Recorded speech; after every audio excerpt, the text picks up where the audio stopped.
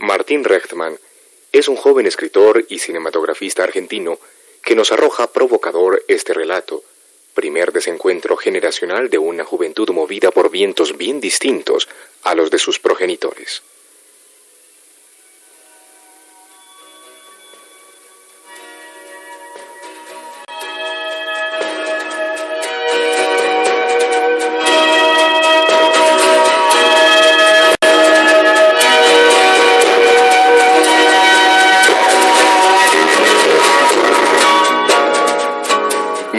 Físico.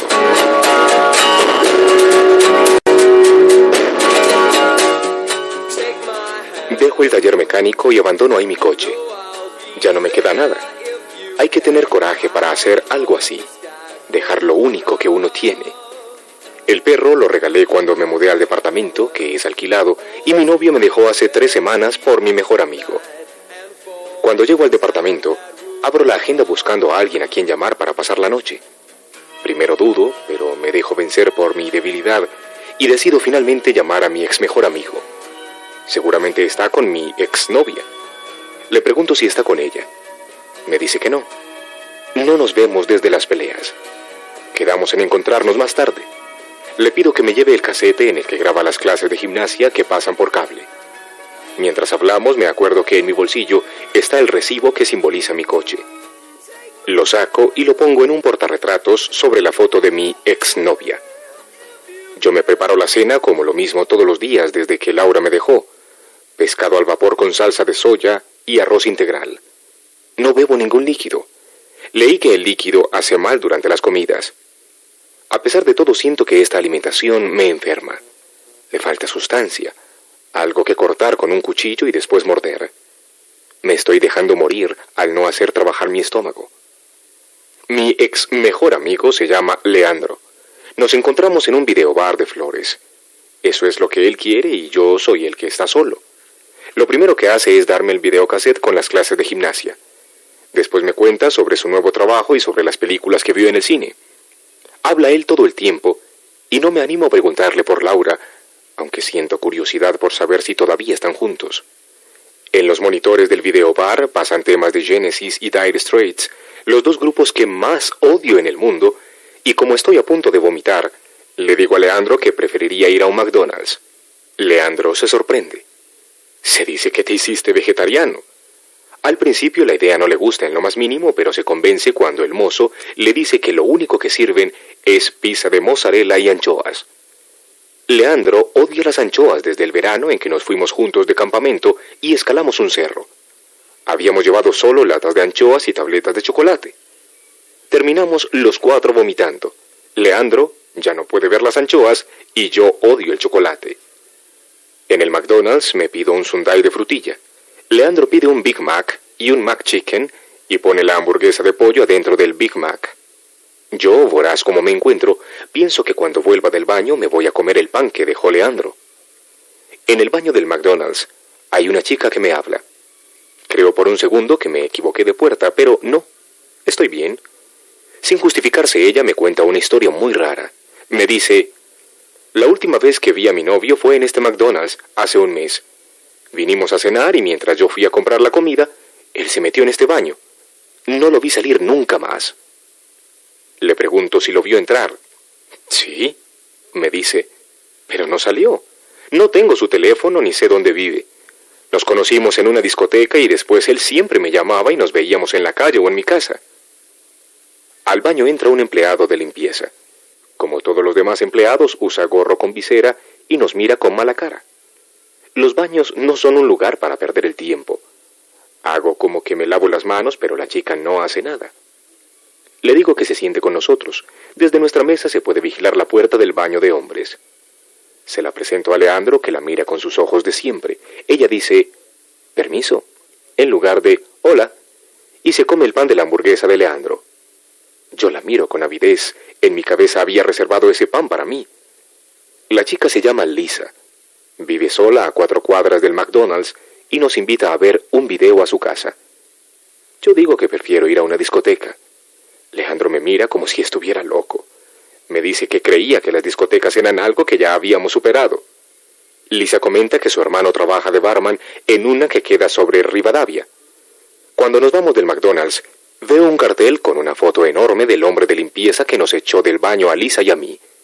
Es el empleado del mes. Miro mi reloj y veo que todavía es muy temprano, apenas las doce.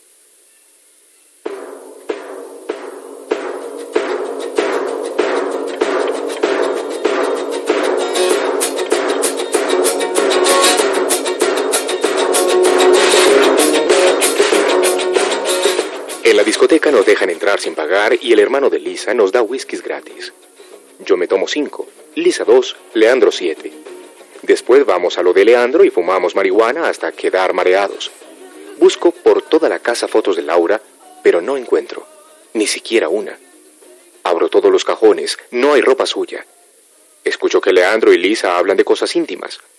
Lisa le cuenta la historia de su novio y le muestra una foto que tiene en la billetera. Leandro lo reconoce. Es Aníbal, un chico con el que jugábamos al fútbol. ¿Ese no es Aníbal? Digo. Sí, es Aníbal, dice Lisa. Tengo su número, dice Leandro.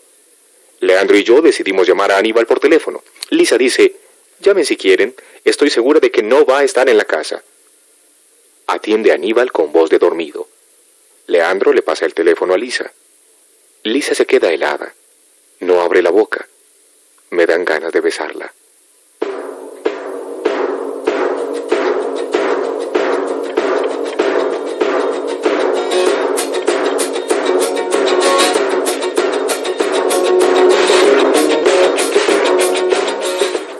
Quedamos en volver a encontrarnos los tres el sábado a la noche. Hacemos una cita en Rivadavia y José María Moreno, caballito. Yo vengo de cenar con mis padres en un restaurante de Parque Centenario que se llama Los Chanchitos. Tuvimos que esperar 45 minutos para conseguir mesa y mi papá discutió por el turno con una mujer que venía con sus dos hijas. Mis padres pidieron una parrillada para cuatro con la esperanza de que yo también picara algo, pero tuvieron que comérsela entre los dos. Yo pedí una proboleta con ensalada. No usé el cuchillo en toda la cena.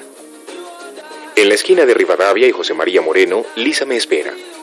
Mira la vidriera de un negocio de ropa. Está vestida igual que la vez pasada. La miro desde la vereda de enfrente y pienso que no se parece en nada a Laura. Me dice que no va más al McDonald's, pero que ayer se lo volvió a encontrar a Aníbal en el cine. Fue a ver la lección de piano. Me pareció horrible casi vomita. Aníbal estaba sentado justo delante suyo. En el momento en que a la protagonista le cortan el dedo, Aníbal se dio vuelta horrorizado y la vio a ella, que no tenía los ojos en la pantalla sino en su nuca. Aníbal le dijo, Ah, hola. Lisa creyó que era un fantasma y sintió el impulso de cortarse un dedo. El cine no estaba muy lleno y le pareció que corría sangre por los pasillos de la sala. Aníbal estaba con un amigo y Lisa con Leandro. Leandro no viene a la cita y Lisa y yo vamos a un pub con luces de color naranja. Tomamos cerveza los dos, hablamos de música y pintura. Yo soy pintor y mi ex novia es música. Lisa recién termina la secundaria y todavía es egresada. Me pregunta qué pinto. Le digo que soy conceptual. Ya no me pregunta nada más. La acompaño a la casa. Vive justo en el límite entre Caballito y Flores, sola, en una casa antigua que parece llena de fantasmas. Lisa cierra la puerta y yo me quedo pensando, me doy cuenta de que a veces ella habla como si estuviera loca. Dice cosas que no me gustan, pero en esos momentos yo trato de no prestar atención. Vuelvo a casa. Me duermo pensando en Lisa, que se hace transparente.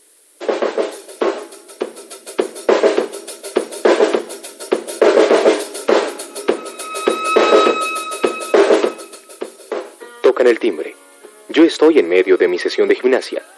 Pongo pausa y corro a abrir porque intuyo que es Laura. Un tipo de sobre todo, traje y cara grande me entrega un sobre. Toma, míralo. Paso a buscarlo mañana a la mañana. Lo abro agitado, veo que es de una obra social. Deja, gracias, ya tengo. Le devuelvo el sobre. ¿Qué obra social tenés? Programa de salud. ¿Programa de salud? Y con su cara se hace el triple de grande. ¿Pero qué, te pasa? ¿Qué te pasa? Le pregunto desafiante y le cierro la puerta. El tipo mete el pie justo a tiempo y me vuelve a pasar el sobre. Míralo y compará. Que no lo quiero. Pero sin compromiso. Andate o llamo a la policía. Empujo la puerta con todas mis fuerzas y le agarro el pie. El hombre grita. Yo sigo haciendo presión. ¿Te vas a ir? Sí, sí, sí, me dice el hombre. Ahora su cara se achica hasta casi parecer normal. Lo dejo ir, rebobino el casete y sigo con mis ejercicios. Después de la gimnasia me siento más fuerte y decido pasar por la puerta de la casa de Laura.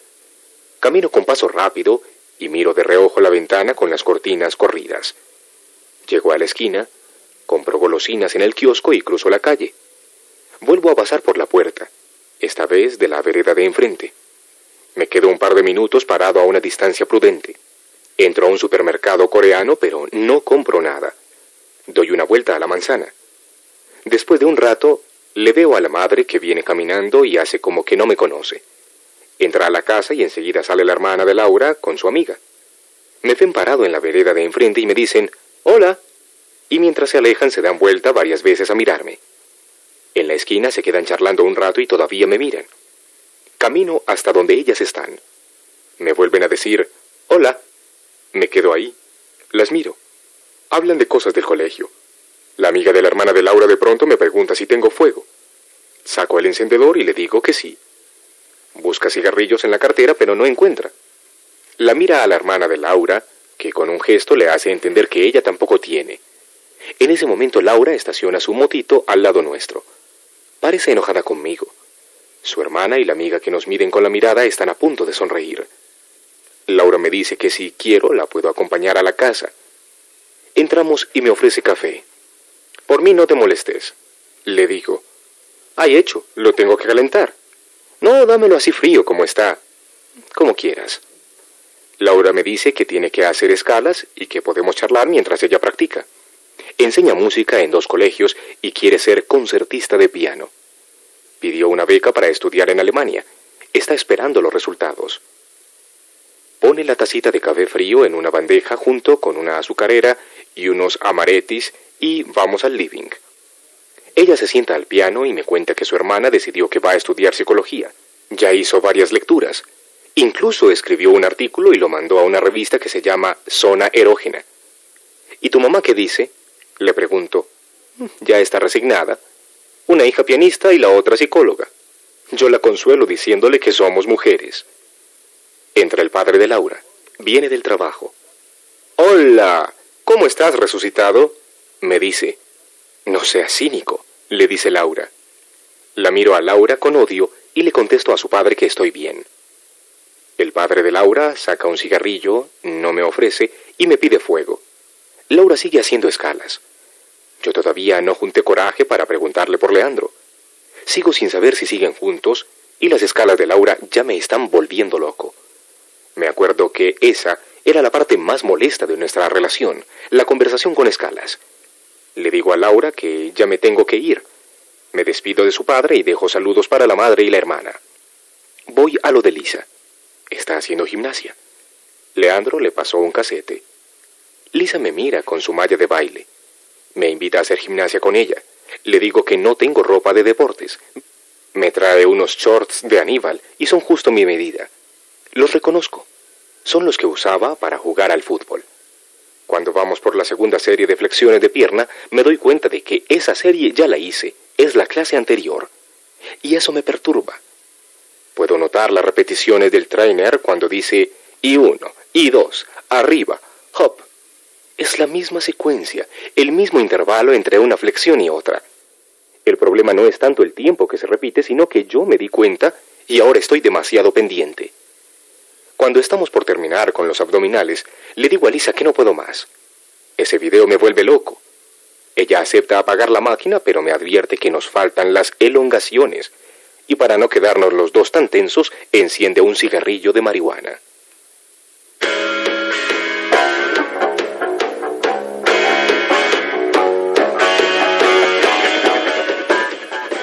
A la noche en casa me doy cuenta de que hice dos sesiones de gimnasia en un solo día.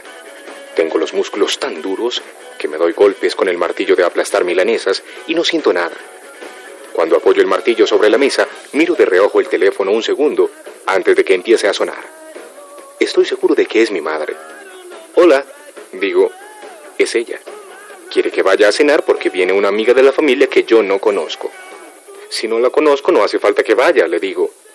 No podés hacernos esto. Sos lo único que tenemos. Mi madre preparó albóndigas de primer plato y después bifes de hígado con ajo y cebollas y arroz blanco. Yo como solo las cebollas saltadas en vino blanco y apenas pruebo el arroz. A pesar de que me muero por morder un pedazo de carne, estoy decidido a no darles el gusto. Lisa desaparece. En realidad no desaparece. Falta a una cita, no me vuelve a llamar, y cuando toco el timbre en su casa o llamo por teléfono nadie contesta. La busco por Caballito, Primera Junta y Flores. Camino por todo el oeste como si la ciudad fuera un pueblo fantasma. Al 300 de la calle Campichuelo, veo la motito de Laura atada a un árbol. Sé que en esa misma cuadra vive una de sus alumnas particulares de piano porque varias veces la pasé a buscar para ir al cine. Me imagino que de pronto aparece la alumna de Laura del brazo de su madre. Me presenta como el novio de la profesora de piano. La madre me invita a tomar el té y yo no puedo negarme. El departamento está decorado a la francesa, con pisos de roble lustrado y resbaladizo. Cuando la madre me trae el té, la chica anuncia que va a tocar el primer movimiento de la sonata en do menor de Schubert se sienta en el banquillo, abre el piano y antes de empezar a tocar me mira y dice, con la pronunciación y el énfasis más correctos, alegro. Pero la chica toca tan lento que me dan ganas de ponerme a llorar. En ese momento me doy cuenta de que la motito que estuve mirando todo ese tiempo es amarilla de cadmio, mientras que la de Laura es azul cobalto. Su hija tiene un talento increíble. Me imagino que le digo a la señora y sigo mi camino.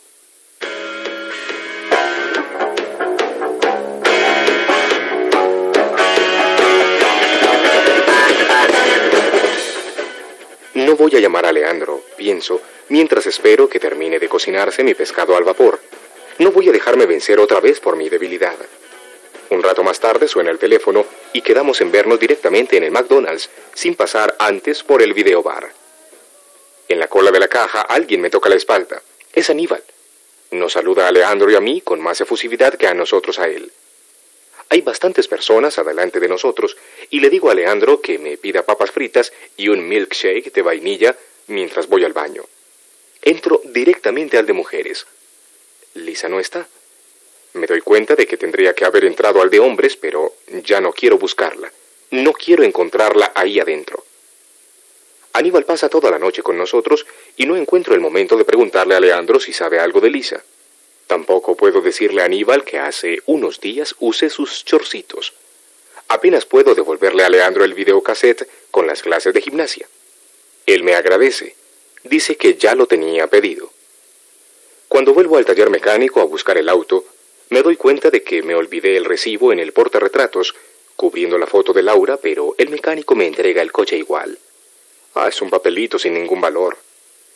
Doy vueltas por la ciudad, Paso por delante de la casa de Lisa. Decido hacer el último intento. Bajo y toco timbre. Me abre Lisa y me pregunta si quiero pasar. Le contesto si no prefiere dar una vuelta. Estamos llegando al río cuando le digo, cuando tu novio entró al baño de McDonald's, tendrías que haberle pedido un papelito. ¿Qué? Un recibo. Bajamos del auto y nos sentamos sobre la baranda a mirar el río. Pronto siento que se me ablandan los hombros. Todo cambia de color. Es el atardecer. Antes de que pase más nada, siento la obligación de advertirle a Lisa. Mira, lo único que tengo es un coche. Mi novia me dejó por mi mejor amigo y el departamento en el que vivo es alquilado. De a poco se hace de noche y empiezo a tener hambre.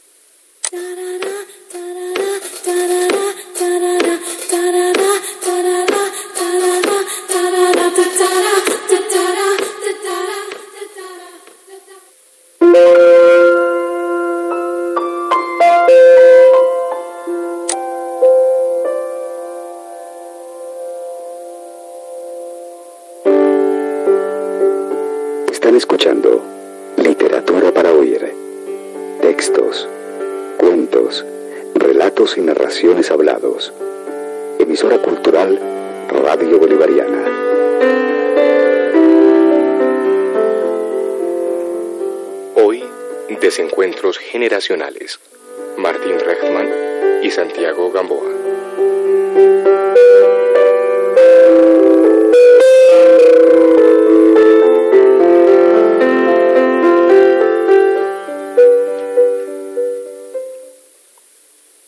El bogotano Santiago Gamboa es nuestro segundo invitado. Vive en París y ya ha publicado dos novelas. En este cuento el azar parece llevar a sus protagonistas por rutas bien inesperadas.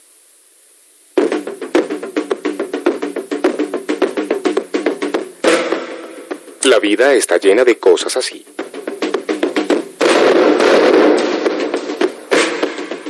Hay tardes así, llenas de sol y viento, y a uno le dan ganas de que la vida comience otra vez, como una página en blanco, sin que nada del pasado venga a mancharnos esa franja de tiempo feliz.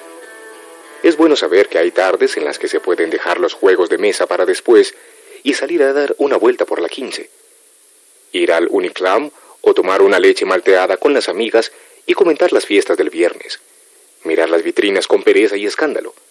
Ir al club a ver si Carlos está en la cancha de golfito o tomar algo en el Limers a ver si ya trajeron ese famoso juego de sapo electrónico que tanto anuncian. Clarita esperó a que la empleada abriera la puerta del garaje para encender el alpín. Gracias, Hortensia. Dígale a mis papás que voy a la casa de Tita y que más tarde los alcanzo en el club. Sí, señorita. Avanzó hasta la esquina sintiendo el viento en los antebrazos tostados por todas las tardes de sol en la terraza y de pronto recordó la noche pasada con Carlos. Cine en el Astor Plaza por la tarde, luego comida deliciosa en el rancho y en la madrugada cama en el Estadero del Norte. Las tres C, como decían con su prima muertas de risa. Estaba enamorada, pero sus amigas tenían razón. Carlos era un poco vulgar, pero la excitaba, todavía tenía dentro su olor. Dobló otra vez a la derecha para bajar la cuesta de Santa Ana hasta la séptima y vio pasar en moto a Freddy llevando detrás al perro de los subiría, haciéndolo saltar las bardas de la residencia y pisoteando las flores que dos veces al día las domésticas regaban con manguera y podaban con tijeras de mango azul compradas en Vima. El hombrecito en bicicleta vino de la calle de enfrente. Llevaba una cortadora de pasto en la parrilla y dos rastrillos amarrados con piola al marco. Clarita aceleró por la cuesta mirando a Freddy y no vio al intruso hasta sentir el golpe en el capó y el bulto que caía por delante. Pegó un grito, frenó en seco y el motor se detuvo. ¡Pela, soy imbécil! Encendió otra vez el alpín dispuesta a seguir, pero vio que el hombre no se levantaba. Entonces miró el reloj pensando que aún quedaba tiempo. Maldijo, estacionó y fue a mirar el cuerpo tendido en el asfalto. En la otra esquina, el Mercedes del papá de Freddy pasó sin detenerse y ella alcanzó a ver el pañuelo de seda del congresista y su brazo velludo en la ventana. Ella lo conocía. Sabía que por ser sábado salía del club sin escolta. ¿Le pasó algo? Clarita se animó a tocar al extraño con el dedo, pero no hubo respuesta. Le dio la vuelta, lo miró por todas partes intentando despertarlo, pero vio que era inútil. Ya estaba por entrar a la casa de los Dusan cuando lo vio abrir los ojos. Oiga, ¿me oye? ¿Le pasó algo? El hombre la miraba sin parpadear, pero no habló. Entonces Clarita, muerta de pánico, le dijo, Venga, deje su bicicleta aquí y súbase al alpín, lo llevo a un hospital. Le abrió la puerta y angustiada lo ayudó a acomodarse en el puesto del copiloto.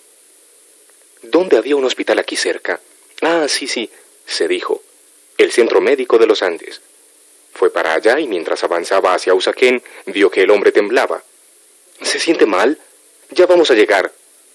Estaba tan asustada que ni cuenta se dio de que habría podido timbrar en la casa de los Parra y pedirle a Ernesto que la acompañara, pero tuvo miedo de que fuera grave, de que hubiera algún problema. Por eso hizo todo al revés y después pasó lo que pasó. Nunca me había pasado algo así, doctor, se lo juro, diría más tarde. Hacía apenas cuatro meses que tenía el pase y solo manejaba de mi casa al club. Bueno, de vez en cuando a Unicentro, acompañando a mamá a hacer compras o yendo a ver alguna película a los cinemas. Al llegar a la clínica se bajó y fue corriendo a la recepción. Es un caso urgente. Está en el carro. ¿Qué tiene? preguntó un enfermero. Hubo un accidente. No sabía qué decir. ¿Para qué hablaba?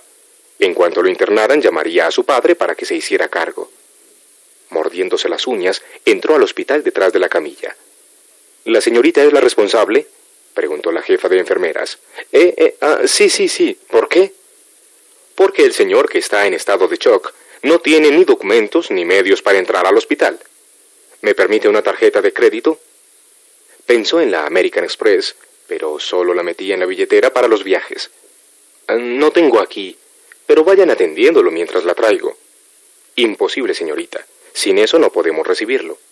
Y entonces le vinieron lágrimas, no pudo más y le contó todo a la enfermera desde el principio. Yo no lo vi venir, fue culpa de él. La enfermera miró al hombre, le levantó la cara y vio que apretaba los dientes, que tenía un leve temblor en la quijada. Este señor tiene epilepsia, le dijo a Clarita. Lo que le pase no tiene nada que ver con el accidente que usted me está contando. Sí, pero ¿qué hago? Vaya al dispensario de salud de Usaquén o si no, llévelo al Hospital San Juan de Dios. Ahí puede entrar por urgencia sin problemas, pero le doy un consejo, señorita. Déjelo rápido en algún lado y váyase para su casa. Clarita pidió prestado el teléfono para llamar al papá. ¿El doctor Montero? Sí, sí, un momento lo voy a buscar le dijo un empleado del club. Esperó dos segundos, pero notó que el cuerpo del hombre seguía temblando. Entonces un enfermero vino y le dijo, Si no lo va a internar, señorita, haga el favor de llevárselo. Este señor va a tener un ataque de epilepsia. Colgó afanadísima sin poder hablar con el papá, pensando que lo llamaría en otro momento. Luego la ayudaron a subirlo al carro y ella estuvo a punto de gritar, ¿Qué hacer? Fue volando a Usaquén, preguntó por el dispensario de salud, pero le dijeron que era sábado que hasta las cinco no había turno. Entonces pensó, ¿dónde quedaba ese tal San Juan de Dios? Un celador del Banco de Colombia le dijo, en la décima con primera, pero apúrese, ese señor tiene muy mala cara. El corazón se le iba a salir del pecho. Esa dirección quedaba al otro lado de Bogotá. El hombre, sostenido por el cinturón de seguridad, resbaló sobre el vidrio sin abrir los ojos. Clarita vio su cuello tenso, las venas inflamadas y un constante temblor en la quijada. ¿Voy por la séptima hacia el sur? Sí, dijo el celador, y la 26 sigue por la décima, derecho. Es fácil. Si se pierde, cualquiera la indica. Subió a la séptima pensando, ¿por qué me pasarán a mí estas cosas? No podía dejarlo tirado en un andén, pero a fin de cuentas no había sido culpa mía. Hasta la enfermera se lo dijo. Pensó en parar a llamar al club en el semáforo de Santa Bárbara, pero luego se dijo que lo mejor era llegar al San Juan de Dios lo más rápido posible, dejarlo y llamar al papá.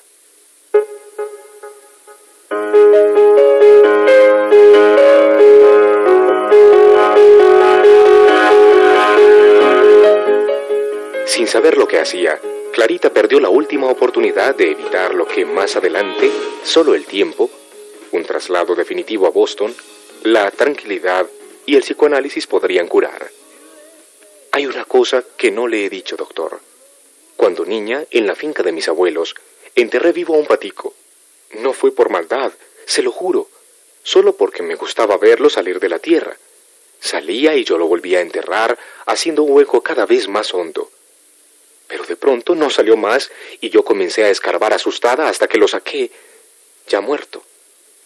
Por la tarde todo el mundo preguntaba por el patico y yo temblaba de miedo, callada, y cuando me preguntaron si lo había visto, dije que no. Qué tan raro, que debía haberse perdido. Fíjese usted, es la primera persona a la que se lo cuento.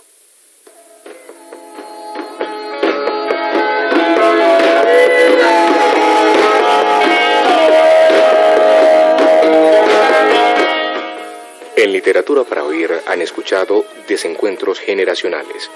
El bogotano Santiago Gamboa y Martín Rechtman, Argentina.